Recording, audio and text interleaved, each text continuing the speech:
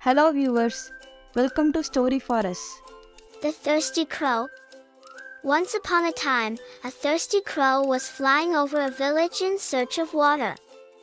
Finally, she spotted a pot of water in a nearby house, but when she looked inside, she saw that the water level was too low for her to reach.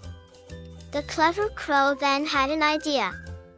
She picked up small stones one by one and dropped them into the pot, causing the water level to rise. She continued doing this until the water level was high enough for her to drink from it. The crow drank her fill of the water and flew away feeling very pleased with herself, knowing that she had found a solution to her problem. The moral of the story is that intelligence and creativity can help us solve even the most difficult problems. When we face challenges in life, it's important to think outside the box and come up with innovative solutions. Subscribe for more videos.